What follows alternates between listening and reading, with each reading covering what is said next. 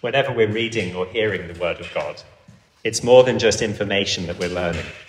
It's not like a maths class or a physics class where you're learning, just learning, really learning and taking in information, even though that information might be very useful.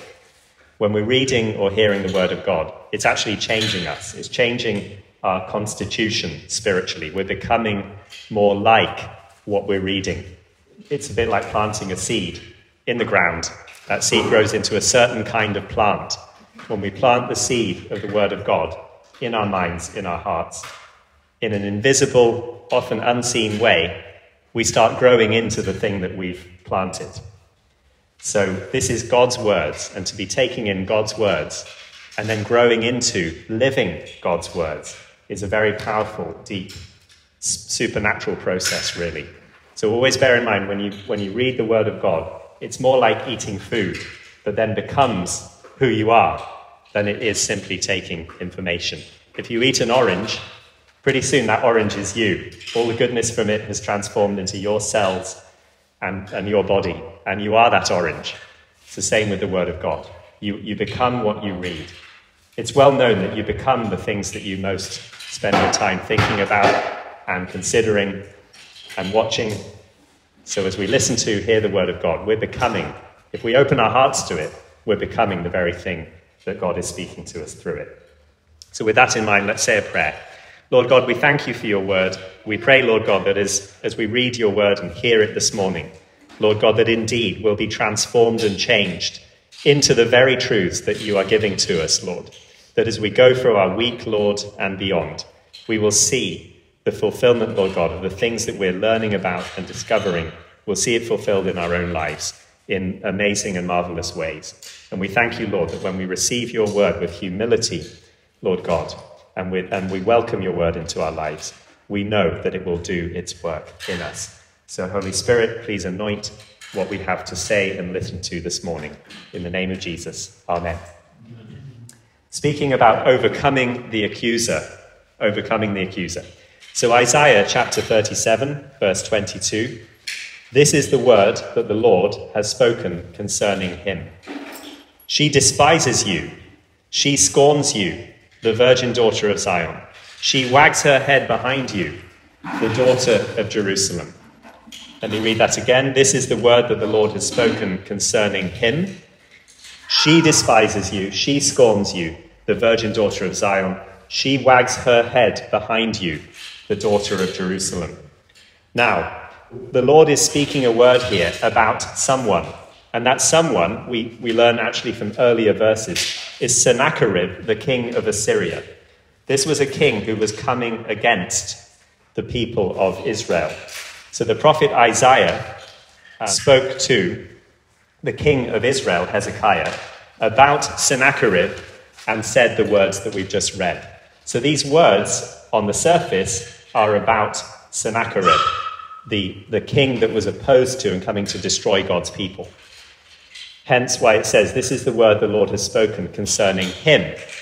So, isn't it interesting that suddenly the gender changes in the statement itself? When the words of the Lord begin to be quoted, it's speaking about a female. She despises you, she scorns you, she wags her head behind you.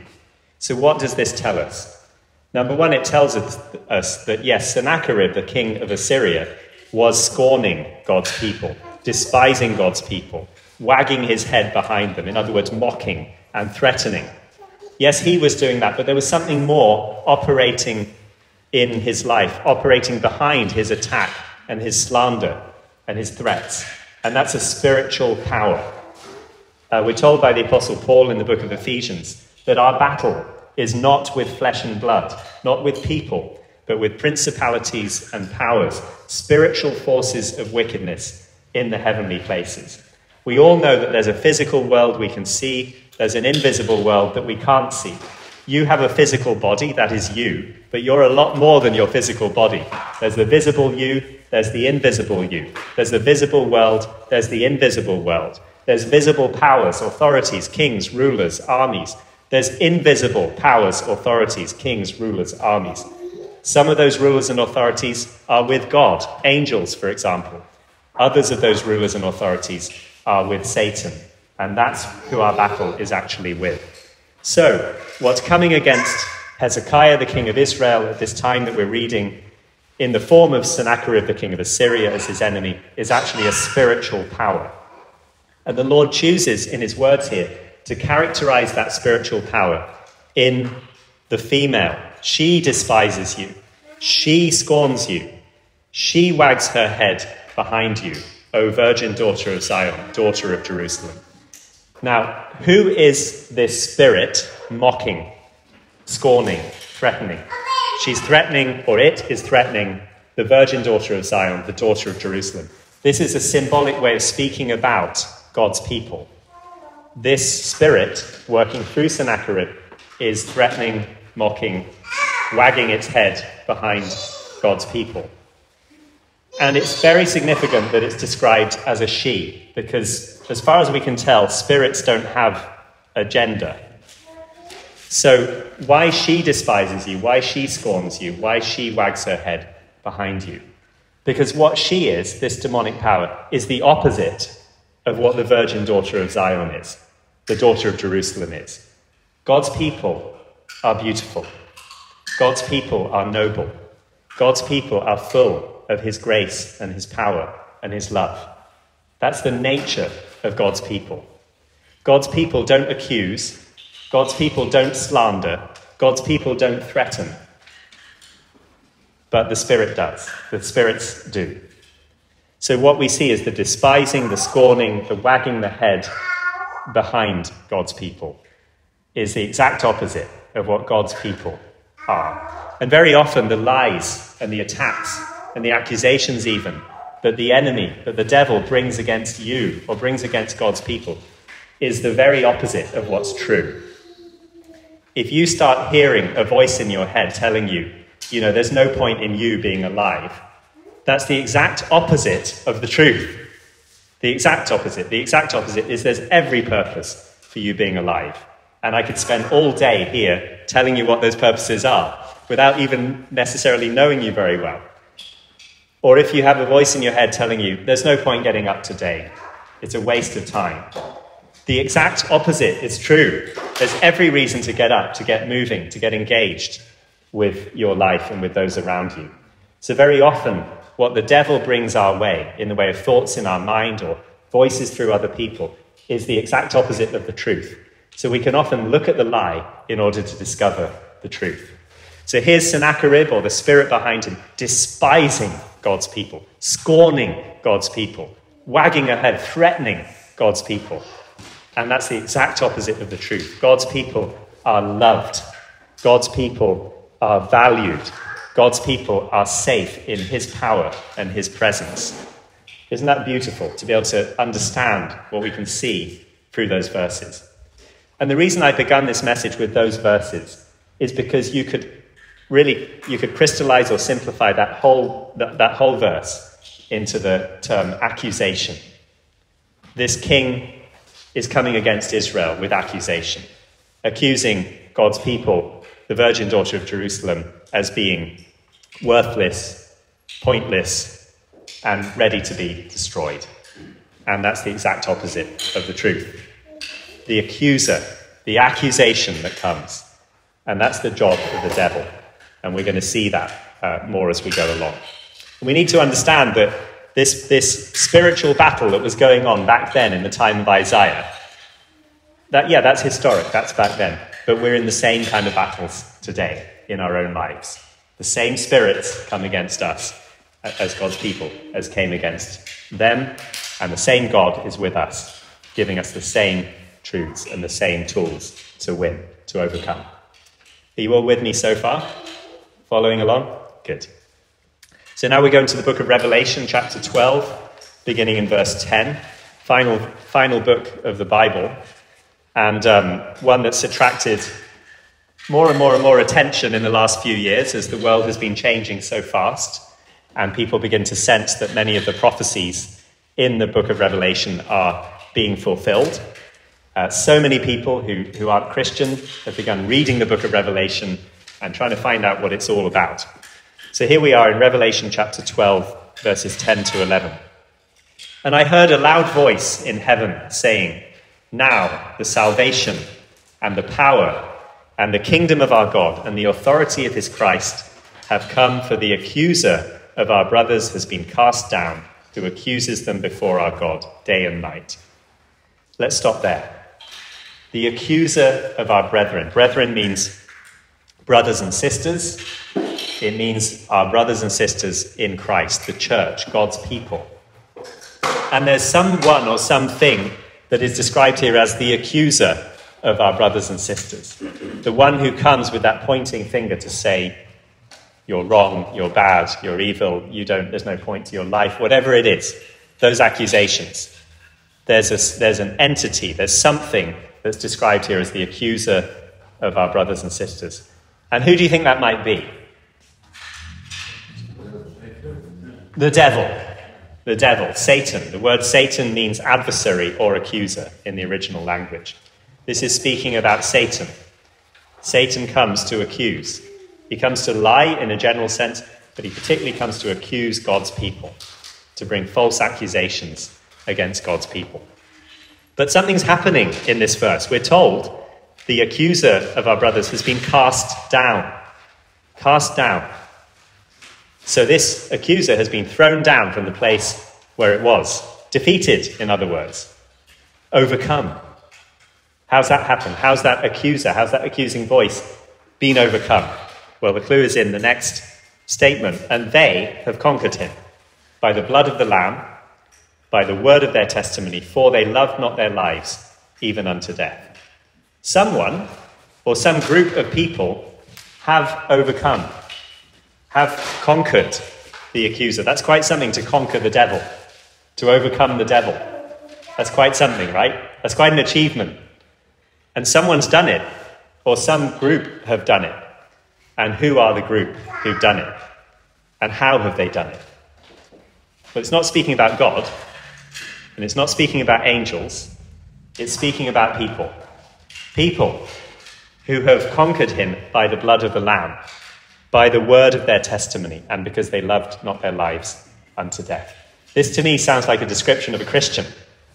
A Christian who knows, I am forgiven and I am clean because of the blood of Jesus was shed for me. I may have all kinds of issues in my life, but the bottom line is I'm forgiven, I'm clean. The blood of the Lamb, the Lamb of God, Jesus, was shed for me, and therefore I'm forgiven. There's no guilt on me, I'm clean. That's a Christian. That's you and me. And they've overcome him, conquered him by the word of their testimony. What's a testimony? A story. A story of something that has happened for you something that you have experienced, something that's come about in your life.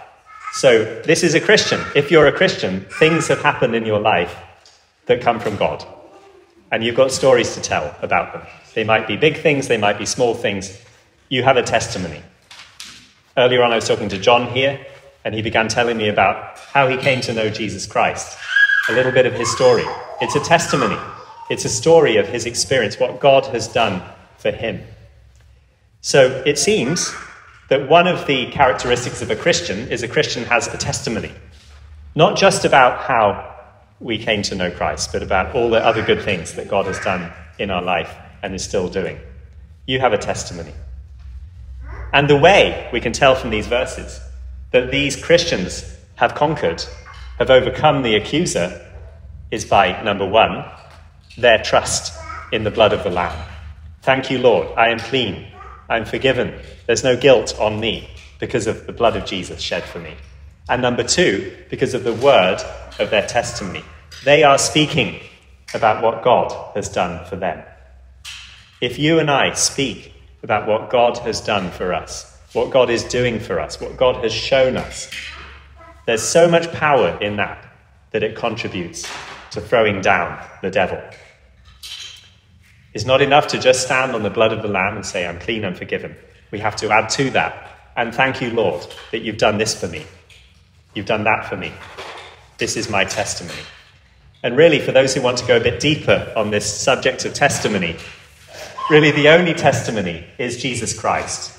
Everything that has happened in your life that is good has come from Jesus Christ. He is the good. Everything. And so your testimony is actually Jesus Christ. Your testimony comes from Jesus Christ and what he's done and is doing in your life. And your testimony points to Jesus Christ. That's why when I go to preach on the streets here in Oswestry or in other places, I do often testify to what God has done for me. But where I always want to take things, and where I often do take things, is to point to Jesus. He's the one, He's the way, He's the truth, He's the life. He is the testimony. He is God's testimony to what God is like, His love for mankind, and all of His wonderful purposes. Everything comes back to Jesus. So, are you getting a picture? There's an accuser of the brethren, of the brothers and sisters. There's a devil who is constantly scorning, despising, threatening you personally, threatening the church, threatening nations, threatening the people that God has made, trying to steal, trying to kill, trying to destroy. There's an accuser. He comes with his lies to accuse. And he's been thrown down, or he is thrown down, and he's thrown down by Christians. He's thrown down by Christians who do two things who stand in this truth I am clean by the blood of Jesus. And Jesus has done this for me and is doing this for me. But there's something else, isn't there? There's three things actually in this list. They conquered him by the blood of the Lamb, by the word of their testimony. And then, would you all together with me read the next statement? For they loved not their lives even unto death. For they loved not their lives even unto death. Because these Christians he's talking about, because they were willing for it to cost them anything to stand in the truth that I'm clean by the blood of the Lamb, to stand and speak of what God has done, what God's doing, even if it cost them everything. They didn't love their life so much to say, you know, I'm too, I'm too concerned for my, my existence that I'm not going to take the trouble, have the courage to believe what Jesus has done for me and to speak about it. They love not their lives, even unto death. Now, to take that again a little further for those that wish to, in order to, so often, in order to stand on that ground of the blood of the Lamb and the word of our testimony, it costs us, even in our own soul. I'll put it in the most simple example. You wake up in the morning and you feel like the worst person on earth. It can be a battle, right? To throw off those thoughts and to say, no, I refuse to live with that lie. It can be a battle. You actually have to die to those feelings in order to get up and get on with your day. You have to die to those lies, as if they're dead to you, in order to live in the truth. And so often, in order to live as the Christians that we are, knowing we're clean before God by His blood, standing in and promoting the word of our testimony, we have to die to emotions, feelings, thoughts, things that other people are saying to us, even our own sense of comfort at times. We have to get out there and fight. A battleground isn't always the most comfortable place to be and there's a significant risk on a battlefield that you will die, or be wounded, or be injured. A significant risk. And we are on a battlefield. Our battle is not with flesh and blood, it's with principalities, powers, spiritual forces of evil in the heavenly places. It's with the accuser who comes to despise, to scorn, to threaten. And how do we overcome him? How do we win the battle? How do we emerge victorious from that battlefield? Only if we go into it, allow, willing for it to cost us everything. Only if we go into it saying, whatever it costs me, I'm going to believe that the blood of Jesus has made me clean. Whatever it costs me, I'm going to thank God for what He's done in my life, however small or insignificant it may seem. I'm going to thank Him. And actually, I'm going to tell someone else about it as well. Whatever it costs me, whatever it costs, going onto that battlefield knowing this may cost me everything, but I'm doing it. I'm doing it with my whole heart. That's how the Christians, this body of Christians that are willing to live this way, throw down the accuser of the brethren. There's a book called The Art of War. You may have heard of it. It's by Sun Tzu, an ancient Chinese sage. The Art of War. I've only read excerpts, but one of the excerpts I read, he said, if you're going to go into battle, only go into it if you know that you're going to win. Only go into it if you know that you've got the capacity to win. And so the question is do we have the capacity to see the accuser of the brethren thrown down in our personal lives, for the church, for the nations? Do we have the capacity? And are we going to see it happen? Absolutely. We have the capacity and we're going to see it happen. So, this leaves us with a promise and it leaves us with a challenge. The promise is that the salvation and the power and the kingdom of our God and the authority of his Christ come when the accuser of our brethren is cast down, and that he has been and will be cast down. And the challenge is that there's a way that he has to be cast down, and it's through you and me. They conquered him. And the challenge is to go into that battle. Thank you, Lord. I'm clean by the blood of the Lamb.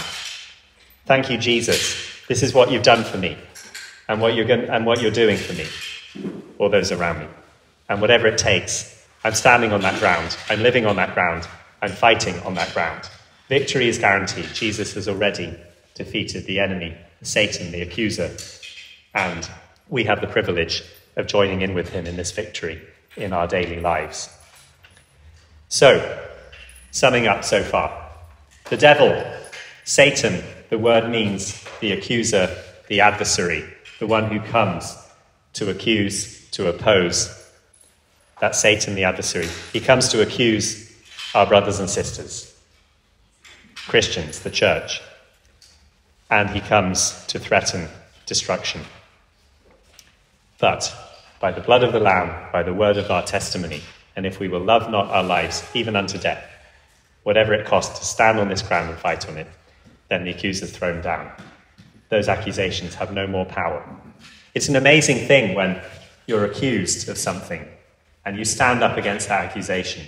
You refuse to believe it. You throw it out, no matter what, how hard that is emotionally.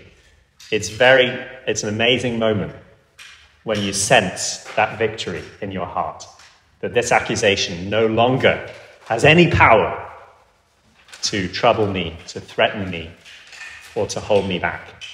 Does that make sense? I'm sure we can all relate to one degree or another. Now, I'm kind of an all or nothing person. So if I was a different kind of person, I'd be stopping right now in this message and saying, You've had enough. You know, that's enough for one week. You know, go home and think about it. But I kind of think if you're going to sit down for a meal, it should be a good one, and it should, you, should, you should get up satisfied. So I'm going to go on and just illustrate from the scriptures a couple of occasions where the accuser of the brethren actually appears, and we see what he's doing to give you some more meat to what I've just been talking about. Are we all up for the second course? Yep, not, not full already? Okay, good. So let's carry on eating the Word of God, which transforms us as we believe it and receive it. But the next verse is Job, chapter 1, verses 6 to 12. I love the book of Job. It's my favorite book in the Bible. It's about a man, a very, very, very good man, against whom the devil came to destroy him, to accuse him and to destroy him. And the devil failed. Great story. We're just going to jump in on a couple of verses at the very beginning of the book. So, Job chapter 1, verse 6.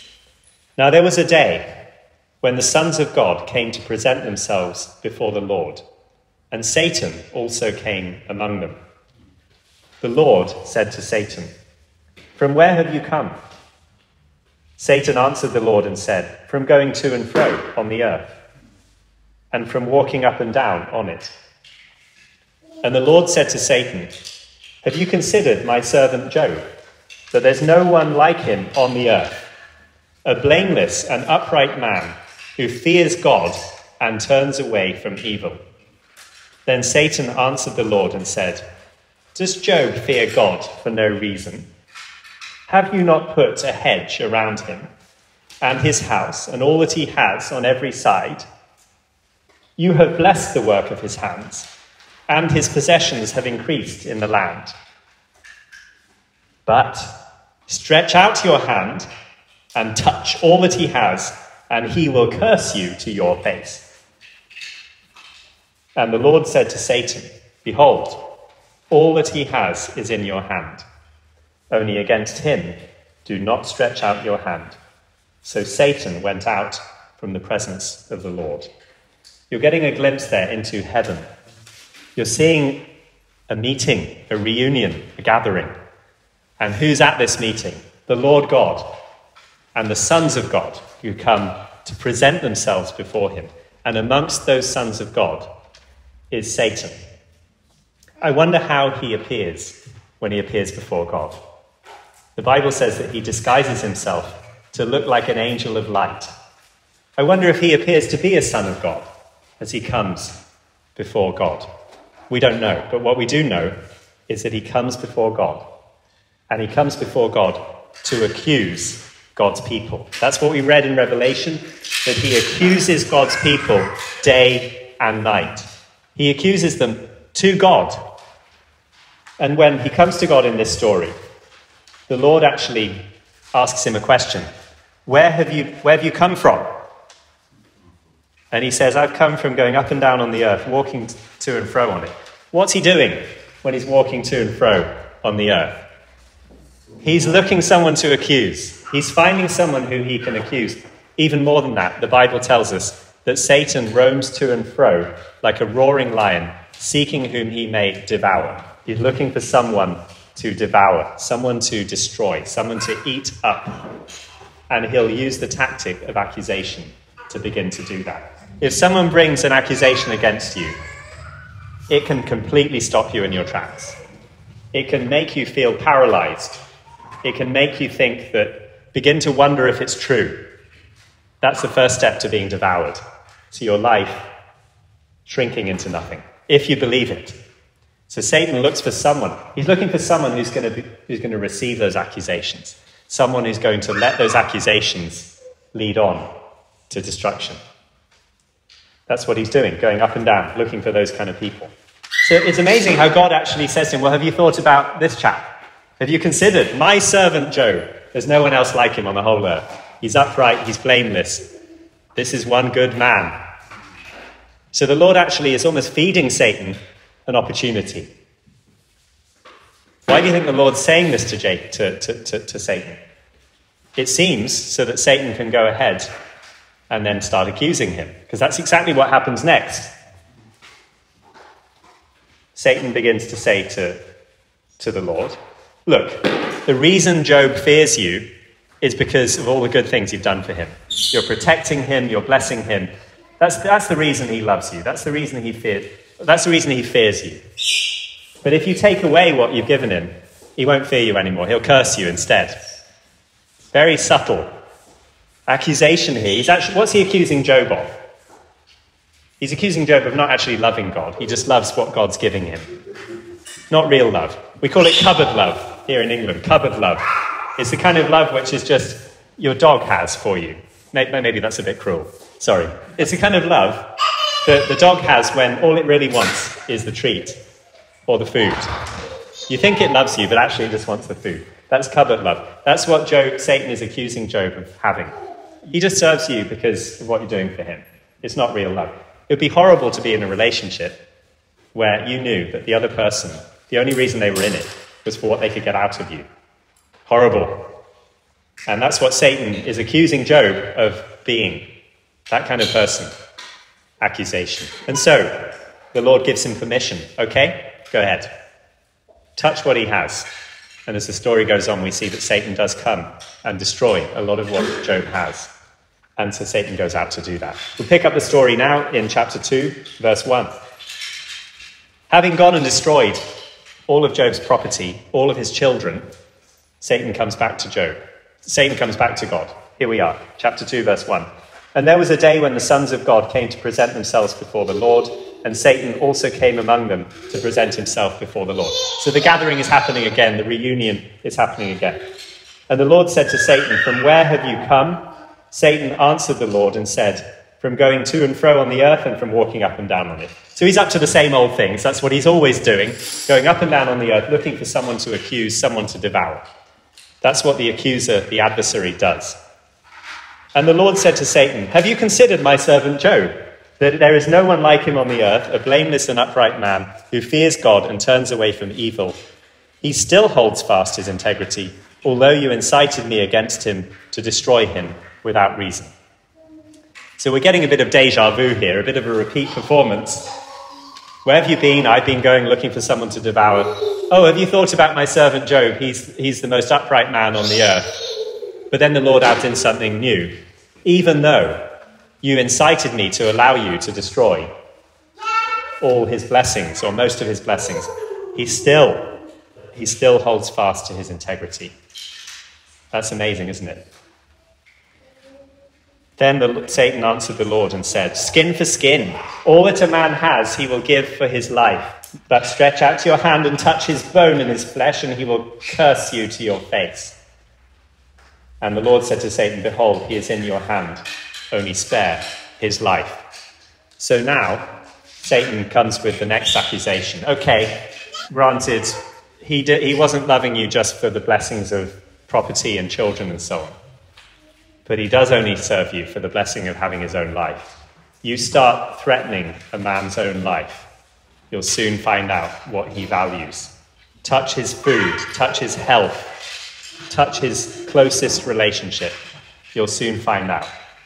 And that's what Satan's accusing Job of. He's saying, look, okay, he's, he's willing to put up with having, having a lot taken away from him he won't continue to serve you, God, to fear you, if you actually take away his, his own life, his health. And so the Lord says, okay, go ahead, just don't kill him. And what happens next, if you know the story, Satan comes and he afflicts Job with terrible illness and, and boils and so on, to the point where even his wife is encouraging him just to curse God and, and die. Very tough, very, very incredible trial. The point I wanted to bring up through bringing up those verses is that there's Satan, there's the accuser, right there in the presence of God, claiming that Job has no integrity, that he really doesn't love God, that he really doesn't fear God. And God decides to prove the point. He proves the point by allowing the accuser to damage Job and his life. But by the time you get to the end of the book, you find that God knew all along that Job was exactly what God had said him to be a blameless man, an upright man who fears God, and actually we see he loves God. When the accuser comes to God speaking about you, he's saying the same things. This person doesn't really love you. This person doesn't really fear you. They don't really serve you. They're not really, they're bad. That's what he's saying. They're bad. And God has an answer for that. But the answer is what we read in Revelation. The answer is Jesus Christ. We're clean by the blood of the Lamb. We have a word of testimony of what Jesus has done in our lives and what he's continuing to do. And we play our part too. We love not our life unto death. Whatever it takes, we follow Jesus. We honor Jesus. We love him. And we stand in the truth, the glorious truth of what he's done for us and what he's going and what he's doing for us. Thus we overcome the accuser. Does that make sense? Final little passage, shorter one. This is another appearance of the accuser before God. Zechariah chapter 3, verses 1 and 2. Now, this occasion and the occasion we just read in Job are the only two places in the scripture that we have an actual story told about when the accuser comes before God to accuse God's people. So they're really giving us a glimpse into heaven and what goes on there. And Zechariah is being given a vision at this point. Then he showed me Joshua, the high priest, standing before the angel of the Lord, and Satan standing at his right hand to accuse him. And the Lord said to Satan, The Lord rebuke you, O Satan. The Lord, who has chosen Jerusalem, rebuke you. Is not this a brand plucked from the fire. So we have a vision of heaven, what's going on there. And Zechariah is seeing Joshua. At the time, the high priest was Joshua, and he's standing before the angel of the Lord. The angel of the Lord is the way the Bible describes Jesus Christ in the Old Testament, the angel of the Lord. So you have Joshua standing before Jesus. When you pray, you're standing before Jesus in the heavenly places. Yes, your body is here on earth, but you, in your spirit, you're standing before Jesus. So it's interesting that Joshua is standing before Jesus in this, standing before the angel of the Lord. But there's someone standing at his right hand. Who is that individual? Satan. And Satan was standing at his right hand. What does the word Satan mean? Accuser. And therefore, we're told Satan was standing at his right hand to accuse him. What a picture. There's Joshua standing in front of Jesus, and on his right hand, right there in heaven, is Satan accusing Joshua, wanting to accuse him. When you pray, when you spend time praying to God, you're standing before Jesus. Sometime there'll be an accusing voice coming into your mind. What right have you got to approach God? Look what you thought yesterday. Look what, how you failed last week. Look, you know, all I could go on and on with the litany of accusations that can come. Satan standing right there to accuse you. You're not worthy to be standing before God. So, what happens then? This is so beautiful and powerful. Verse 2 And the Lord said to Satan. So the Lord responds directly to Satan on behalf of Joshua. And he says this The Lord rebuke you. That's powerful. When God Almighty rebukes something or someone, the, all the heavens tremble. The best way I can put it, all the heavens tremble when the Lord rebukes someone or something, some entity. All the heavens tremble. This is God Almighty. And what's he rebuking? He's rebuking Satan. The Lord rebuke you, Satan. Accuser, the Lord rebuke you. He says again, the Lord who has chosen Jerusalem rebuke you. Jerusalem symbolically represents the people of God. Jerusalem, with all its problems, all its struggles, all its conflicts, all its failures, still the people of God. You and I, Christians, brothers and sisters, with all our conflicts, our problems, our failures, our struggles, still the people of God, chosen by God. So the Lord rebukes Satan, and then he underlines that by saying, I've chosen Jerusalem. And then he goes on to speak specifically about Joshua. He says, Is not this a brand plucked from the fire? A brand is a burning stick. Imagine you've got a bonfire and you pull a burning stick out of that bonfire. If the stick remains in the bonfire, it's going to be destroyed. But you pull it out, that stick is saved.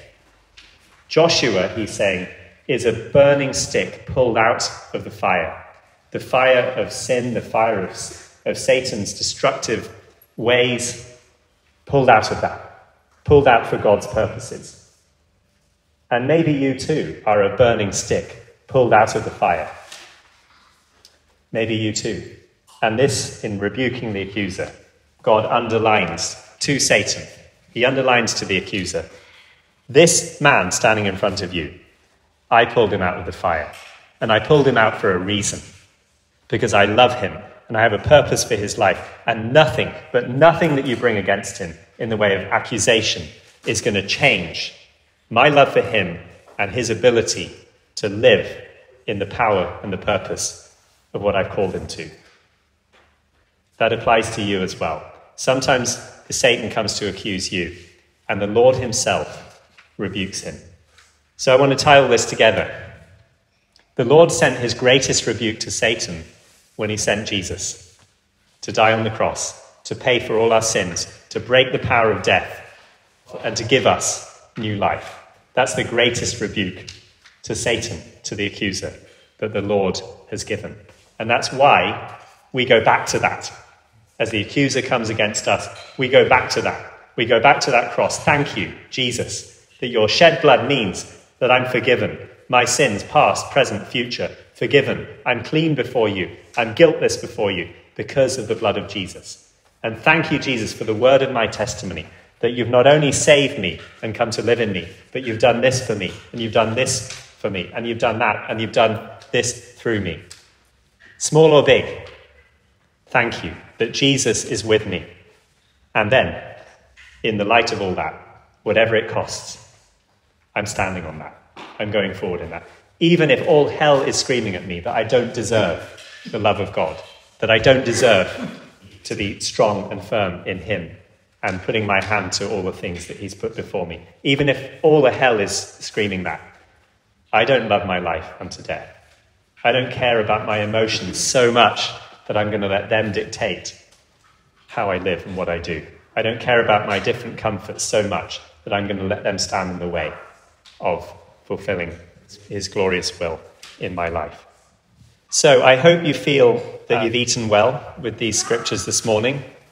I don't want you to have indigestion, so I do encourage you to go back and read them again and just let them soak in, let it digest. Let's pray. Lord God, we thank you for the blood of the Lamb. We thank you for the word of our testimony. And we thank you, Lord, that we need not love our life even to death because you've given us eternal life. In every moment, at every point, Lord, eternal life is available to us as we trust you and walk with you, Lord. We pray for our brothers and sisters across the world who are being accused at this time, accused by the devil, accused by human agents of the devil, Lord. We pray for them. And we pray, Lord God, that indeed they will conquer him by the blood of the Lamb and the word of their testimony, and loving not their lives, even unto death. And we thank you, Lord, that we all are brands plucked from the burning. But you have pulled us out of the fire, Lord, and we are with you. The burning continues, Lord. Help us to be used by you to pull other brands out of the fire as well. In Jesus' name, amen.